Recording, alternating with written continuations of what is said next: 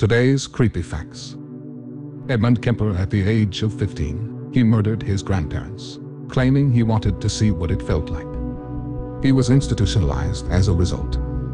He picked up hitchhiking female students, who would become his victims.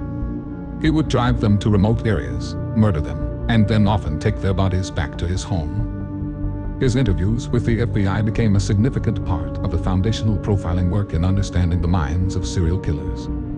His articulate and detailed descriptions of his crimes and motivations have made him a particularly intriguing subject for study.